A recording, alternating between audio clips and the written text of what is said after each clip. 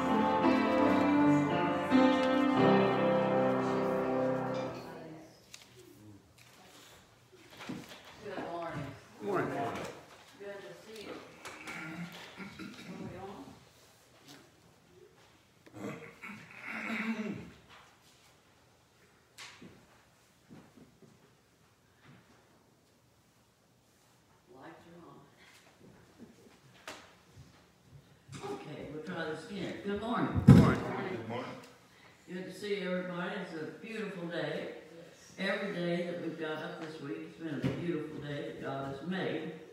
Maybe not exactly what we wanted, but we've had rain, snow, rain, sunshine, and the snow didn't last very long, so that's a good thing, so. that- Pardon? This is kind of different when I had that kind of snow in April. Yeah. But we have snow and they go up to Mother's Day, you know, and that, so. Good to see everybody this morning. Our call to worship is coming from Matthew 11, 28, 29.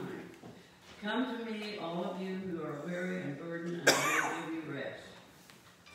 Take my yoke upon you and learn from me, for I am gentle and humble in heart, and you will find rest for your souls. So let's stand and turn to page 423.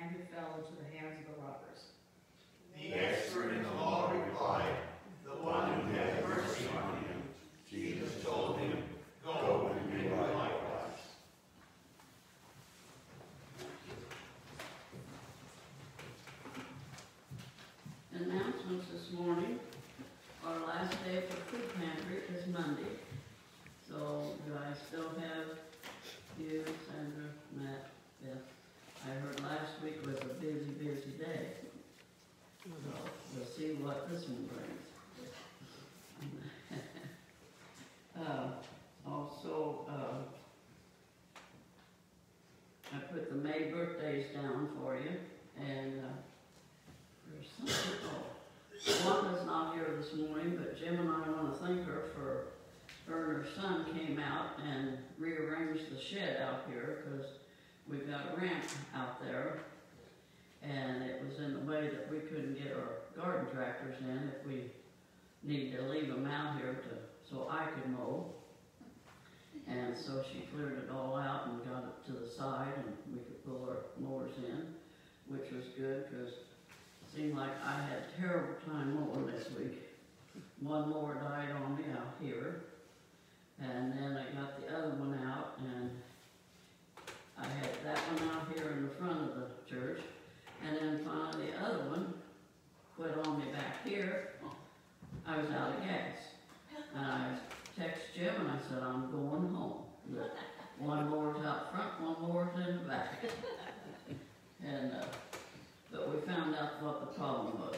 It wasn't me. Because every time something happens, you know how it goes. You can't get it started, you can't. And they come back and they just go, and it starts. I always tell Jim, like when he's opening a can, or a jar for me, I've already got it started for you. Uh, so I think that's all the announcements, unless somebody's got something else, so. Okay, let's turn to page three fifteen.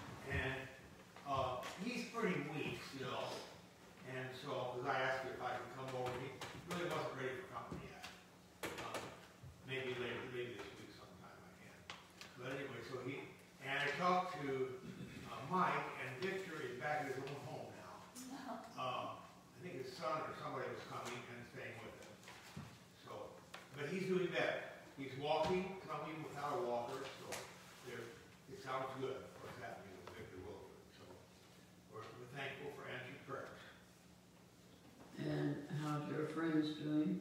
Um, he, he's still in the hospital, he is still alive at this point. Um, for those of you who don't know, I sent out, sent out a group text, but one of our friends from Missouri has COVID and he's on a ventilator. And yesterday morning, the doctor said that he, he was failing rapidly, and then later yesterday in the day, they said his vitals were stable. And, um, the family did get to see him very briefly on Friday. They tried to see him again yesterday and got nothing but no, no, no. Mm. But they did at least see him briefly on Friday, but anyway, so I appreciate everybody praying, praying for a miracle. No, no. Any others to bring forward? No. Um, How about yours today? Sunshine. We're doing good. And, uh, It's gonna get warmer. One of these days, what are It's too hot. And, uh, but we'll all live through it, we live through each, um, season, and it always changes on us when you live in Illinois, it changes really quick, so. and, uh, So any other joys or any other thing that you had on your heart this morning? And, uh, you're all looking good. Make you smile a little bit. Father, we come to you with thankful hearts for many answered prayers. Thank you that you care about us. We thank you for each person who's here this morning. We pray for those who couldn't be here for various reasons, that you would bless them and help them. Father, today we pray especially for Charlie and Ruth. Touch Charlie, we pray, continue to bring healing to his body, and we thank you for saving his life and helping him to, to uh, get better. We also pray for Victor, that you would be with him today, and also with Mike. He's going through some physical problems as well, and just Lord, be with him. Now we thank you that you are a, a God who answers our prayers. And we bring to you each of those that are on our list today. And we just pray that you be really close to them and help them. Uh, pray for be with Don today and Roger. Uh, we also pray for uh, Brian Astrike, for Fred Wiseman, uh, for Joni's grandson, Hayden. And Lord, for others that we may not have on our list, but others that are uh, that we're concerned about today, Lord.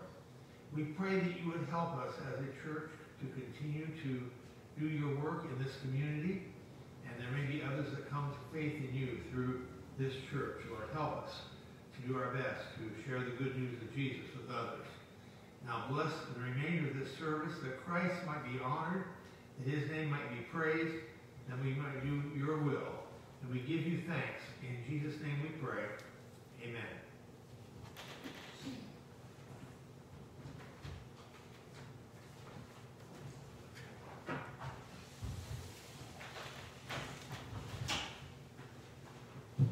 Well, I got word yesterday that uh, at least one of my classmates from high school that died in January died from the COVID. And I didn't know that until yesterday. I was talking to someone, and, um, and we recently we lost two more members of my class, and I guess we're at that age where those things happen, you know. But, uh, but anyway, it's, it's always hard to see that happen. We're having our 60th reunion in another year, and I hope we still have a bunch of our people around, you know. But we're, we're that we have those that we do, that we can share with them. I'm, looking at uh, Luke chapter 10 today. I've been struggling with what should I do the next few weeks. Uh, I like to plan ahead. I don't like just to just to go at random, well, this passage, well, this passage. So I, I decided maybe it would be nice to do some of the parables from the Gospel of Luke. They're, they're different. Uh, some of them are different than the ones in Matthew and Mark. So that's kind of interesting. So that's what I chose to do. So between now and Pentecost, we'll be sharing with about some of the parables. And then, of course, Pentecost Sunday, I would like to preach on that, on Pentecost. And then and then there'll be one more Sunday in May, and so that will take us through the, the uh, pre-summer. So that I thought that would be a good way to so I hope you uh, enjoy this, uh, series on parables. Today we're looking at Luke chapter ten, um, beginning of verse twenty-five. Luke chapter ten. Let's pray. Lord, as we look into the word this morning, may you speak to our hearts, and we thank you in Jesus' name. Amen. Now I know you've heard that the parable of the Good Samaritan many times. Uh, probably you can tell it in your own words, but it's a very familiar one. But I think there's something in there for us every time we read it. So uh, we've already read it in our responsive reading. Let me read the first few verses that were not read, and then we'll share about it. Uh, beginning with verse 25. On one occasion, an expert of the law stood up to test Jesus. Teacher, he asked, what must I do to inherit eternal life? What is written in the law? He replied. How do you read it? He answered, Love the Lord your God with all your heart, and with all your soul, and with all your strength, and with all your mind, and love your neighbor as yourself. You have answered correctly, Jesus replied. Do this and you will live. But he wanted to justify himself, so he asked Jesus, And who is my neighbor? What do you think he thought? I think he thought those people that Jews and are my friends, you know. In reply, Jesus said, and then he tells the story of a man who's walking down from uh, Jerusalem to Jericho. And I won't reread it right now, but we'll be looking at it. Let's, ladies, suppose your husband brought home a beautiful bouquet of flowers. You'd be happy, wouldn't you? You like flowers? Yeah? Norma always liked, she said one rose was fine. She didn't want a dozen. That sure saved my wallet, you know. Although sometimes I did buy more, but, but she was with just one or two, and I found out, and I found out if you want all, all these, you could get six for about the price of one or two at a, at a florist shop. and she didn't mind if they gave them all. roses are roses are roses, you know. And oh, as they're beautiful. I didn't buy the ones that had been sitting there for a long time looked like the last rose of summer, you know. Because sometimes that's the way they look at, at well, sometimes in the florist shop they don't look much better than that either. But anyway, uh, so anyway, so um, she, you you would be touched and moved by his kindness and thoughtfulness. And then he said, "Yeah, they delivered them to the office by mistake. We had to get them out of there today, so they asked me to bring them home."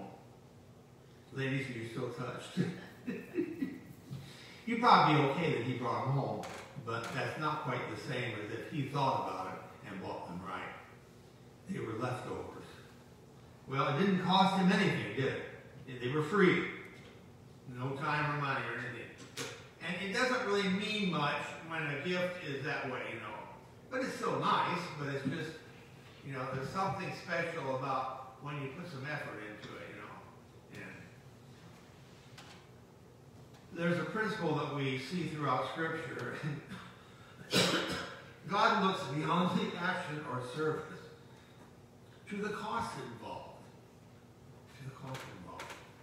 When there's no cost involved, it's really hard to get really excited about it, you know.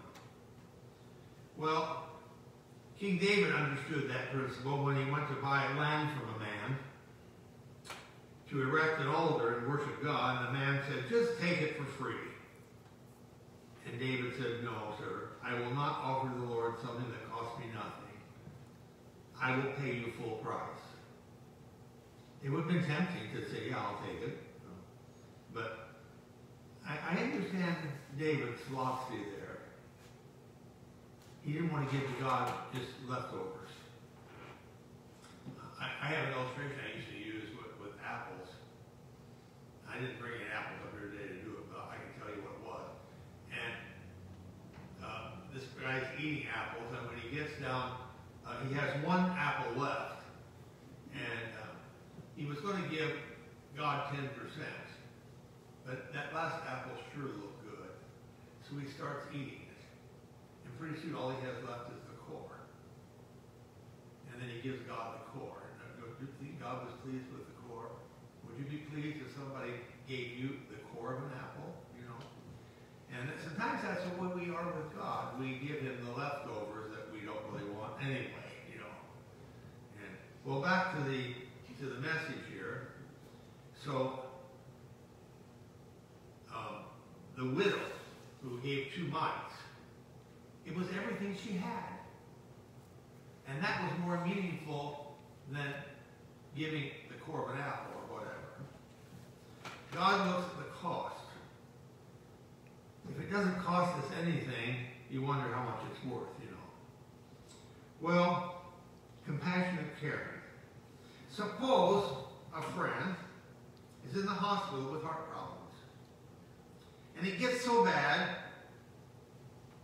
that they sedated him and gave him the paddles to get his heart back in rhythm. I would suppose nothing will get your attention so much as drastic measures. Well, ICU people are in critical care mode. People should be willing to do whatever it takes and get you stable. But life suddenly takes a different look as we're that person in the critical care unit, right? And you want somebody who really cares about you and puts every effort, don't you? Kitty Genovese's story, you may have heard this before because I think it's several years old, but it is very, it goes back to 1964. She was a 28-year-old manager of a bar in Queens, New York. Returned to her quiet residential neighborhood and parked her car in a lot adjacent to her apartment building. And began to walk the 30 yards through the lot to her door. She noticed a man at the far end of the lot and she paused. When he started toward her, she turned the other way and tried to reach a police call box half a block away. The man caught up with her, stabbed her. She started screaming that she had been stabbed and screaming for help. Lights went on all over the apartment building across the street.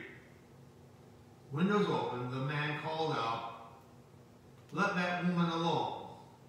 The assailant shrugged his shoulders and walked away. Windows closed and lights went out. The assailant returned and attacked her again. This time she screamed, I'm dying, I'm dying. This time more lights came on, more windows opened. The assailant walked to his car and drove off, leaving her to crawl along the street to her apartment. Somehow she managed to drag herself inside. The assailant returned a third time, found her on the floor at the foot of her stairs, and finally succeeded in killing her. During those three separate attacks, over 35 minutes, not one of the neighbors tried to intervene. Sad. No burly neighbor picked up a bat and dashed outside to save her life. Worse than that, over 30 people saw at least one attack. No one even called the police. The police were not called until after the girl was found dead. What a horrible story. I wonder how many times that's been repeated over and over with other people, you know, when nobody seems to care. Now, I know there's a danger saying, well, I don't want to get involved, or I'm afraid I'll be attacked. Could nobody call the police? They, I would think they didn't have cell phones, but they would have had a phone attached to the wall or whatever, you know. Sad, isn't it? You'd have thought at least somebody would have called the police. And I know we're afraid to get involved, we're afraid for fear we'll get hurt or something. Well, you've heard about the Teresa, no doubt. When asked how she accomplished such great things in her life, she said, None of us can do anything great on our own, but we can but we can all do a small thing with great love. Don't blame yourself if you can't do a lot. But is there a little thing we can do? If somebody just taken the phone and called for help, you know. They were probably afraid. Probably afraid. And I, I understand that, you know. You see somebody with, with car trouble along the road. And you don't know what to do because you hear stories that it's a setup. Don't you? And I've even heard stories of that with children involved, where they, they use children to make it look like it's a family in trouble. And it's scary. But I'll you, on the day with cell phones and all, we could call for if we don't, if we, if we're afraid, there are things we can do, and, and that's important to do that if we can. You know. Um, so here we are, this story of the of the Good Samaritan. So here this man is walking along the road between Jerusalem and Jericho, and thieves stop by, and they beat him and leave him for dead. He doesn't die, but he's in bad shape. And three people come along. There's a priest and a Levite. They're both religious people. Did they do anything? No. Why didn't they do anything? We don't know why they didn't. Maybe they thought, well, it's I'm busy today. I want to get where I'm, I've got a meeting I've got to go to. How many times have you felt that way? How many times have we felt like, oh, I just can't take time. I'm busy. I don't want to get involved. If I get involved, I'll be called in to testify, and I don't want to do that. Right? It, it's tough. And I don't have all the answers on it. And I'm not suggesting you put yourself in physical danger necessarily. I, I think we have to be careful about things like that. Uh, although I've known people who actually are always helping people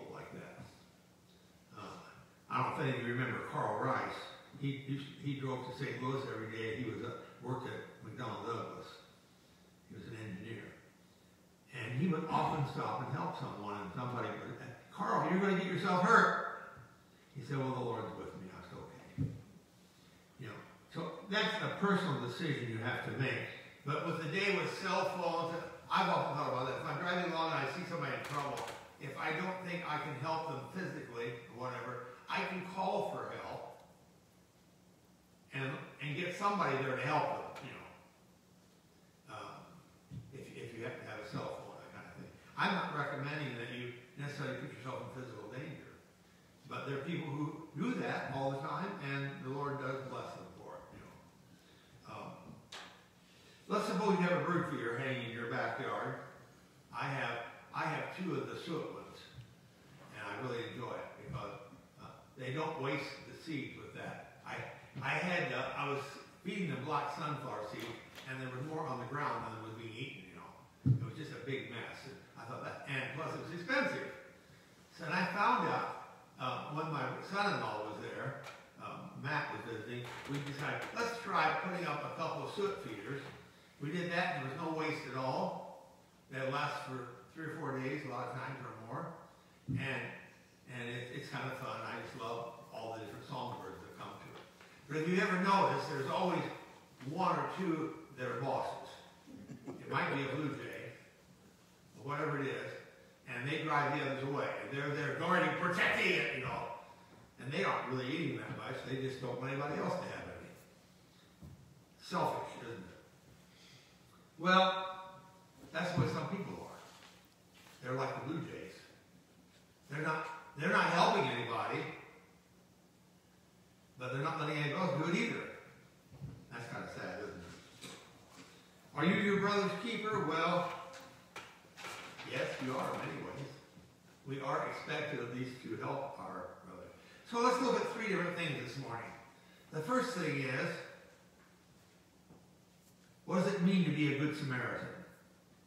There's a willingness to give of yourself. The priest and the Levite saw this man, but they pass on the other side. In other words, let's don't get involved. And there's that temptation, isn't there? Now, I'm not suggesting this morning for a moment that you have to put yourself in some kind of physical danger. Many choose to do that, and that's wonderful. But there are ways of helping sometimes without actually taking unusual risks. That's something you and the Lord have to work out, you know, what you're willing to do.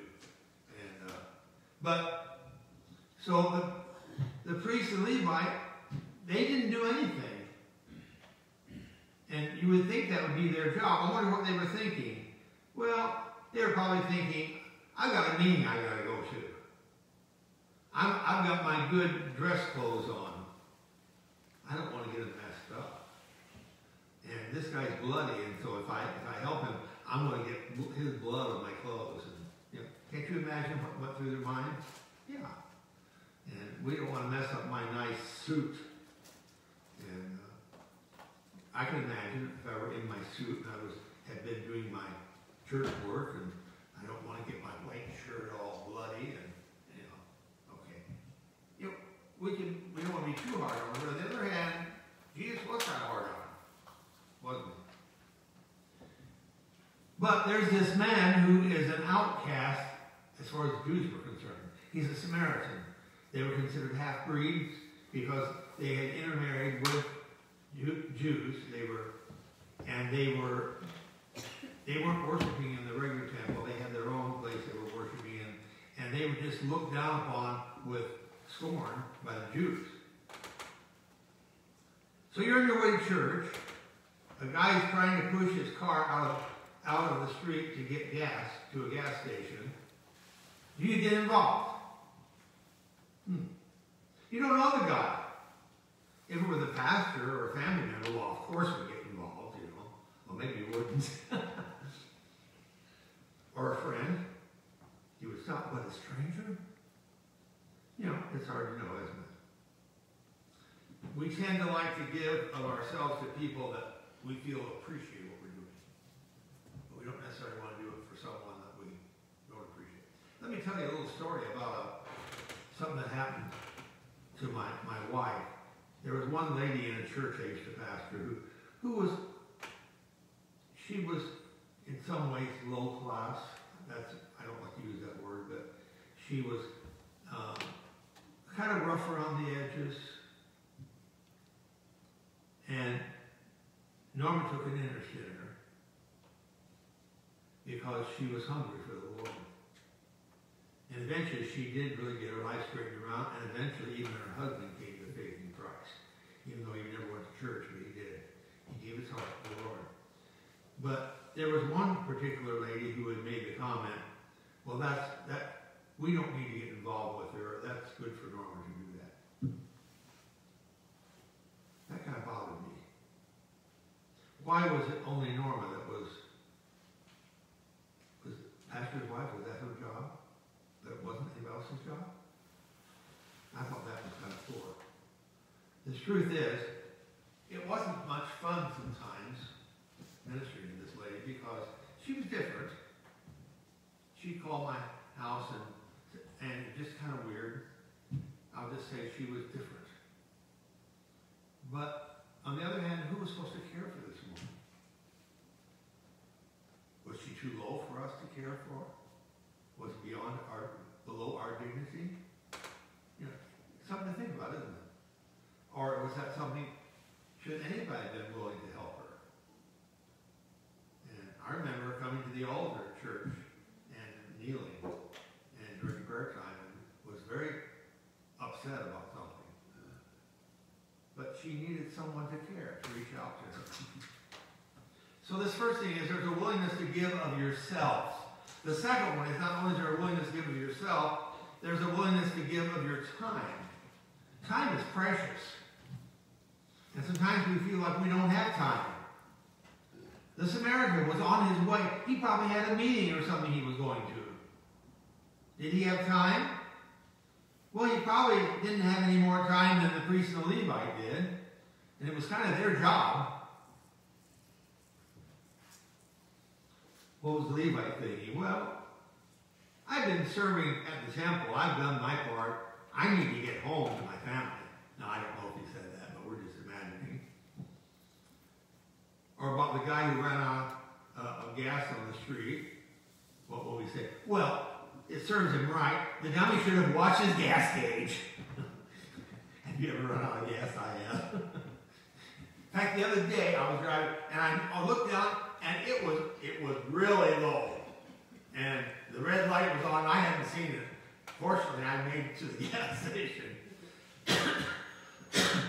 but if I hadn't, I would have been really happy to have somebody else. Well, the Samaritan looked and being moved with compassion, decided he would make a difference in this person's life. Uh, so that brings me,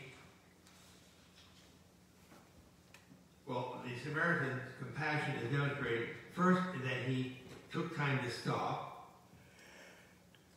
Uh, he actually helped the man. He dressed his wounds.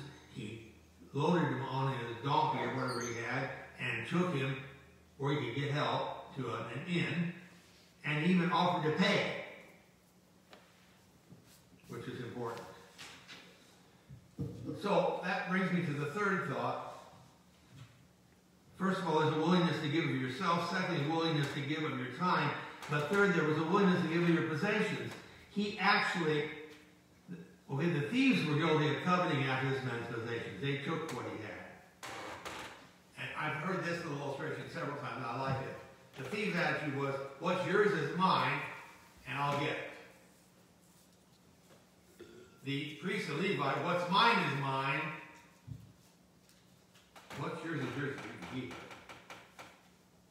The Samaritan, what's mine is yours, and I'll give it to you if you need it. Three different attitudes there. The thief, what's yours is mine, I'll take it. The priest, the Levite, what's mine is mine, and I'll keep it. And and you can keep it if you can. And the Samaritan, what's mine is yours, I'm willing to give it to help you. Satan desires that we use people to love things. God's desire is that we love people and use things. I don't know if I said that right. Satan's desire is that we use people and love things. God's desire is that we love people and we use things to help those people. To be honest, that's where many believers draw the line when it comes to the compassionate giving. They may get involved and give of their time, but they aren't going to let go of their money or stuff. So, what are we willing to do? The Good Samaritan gave the innkeeper sufficient money, said two days' labor to provide care for the recovering traveler for several days, and promised the innkeeper that when he returned, whatever else he spent, he would pay. Now, I know it's just a story, and there, probably wasn't real people involved in the story, but it's, it's, it speaks to all of us, doesn't it? That we need to be willing to reach out to others in need. We can be like the Good Samaritan. The Samaritan stayed there, nursed the man, and paid the bill himself. There was a willingness to get involved. He gave of his time and resources. There's always a cost when you compassionately care. Ministry that costs nothing accomplishes nothing. Sometimes the only reward we get is the inner joy and personal growth we feel. Jesus asked the lawyer the obvious question of who proved to be a neighbor, and the lawyer answered it correctly. The one who showed compassion, he said. The answer is obvious, isn't it? The costly demonstration of love made this Samaritan the loving neighbor. What would you have done that day? Do you think you'd have acted like the Samaritan? It took his time, because he was on his way somewhere. It took his money. It took his business of getting involved. A young woman was backpacking in Colorado. She encountered another woman hobbling down a mountain trail. On one foot, she wore an improvised shoe made of green twigs wrapped with a strip of cloth. Lost one boot crossing the stream, she exclaimed. Hope I can get down the mountain before dark. What would you do in a case like that? The first hiker reached into her own backpack taking out a spare sandal said, wear this, she said. And you can mail it to me when you get home. I don't know, I probably just would have said, you can keep it, whatever, but anyway. The woman gratefully accepted the sandal and set off down the trail. A few days later, the sandal arrived in the mail with a note saying, I passed several people who noticed my predicament, but you're the only one who offered any help. It made all the difference. Thanks for sharing your sandal with me. Okay, you may not be asked to meet someone who's been beaten up along the trail. But every day, there are people, probably in our sphere of influence, that need something. Are we willing to do the right thing if we have the resources to do it, you know? Now, I'm not suggesting that we necessarily stop when someone's uh, parked along the road in car trouble. I know sometimes it's a setup. Those are tough things to know what to do. That's something you have to personally decide between you and the Lord. If the Lord speaks to you and says stop, then you probably should. Uh, but I'm not going to. I'm not going to tell you how to do that. On the other hand, this is the day of cell phones. We can call for help. There are all kinds of things we can do without actually necessarily risking our life. But I think it's important that we do something, you? That we care. Because there are people out there who need our help. And what a difference it makes when we care for people. Well, real love takes action. The Bible says love can be seen and touched. It's tangible. It may be as big as injured person or as small as a cup of cold water given in Jesus' name. You may give without loving, but you can't love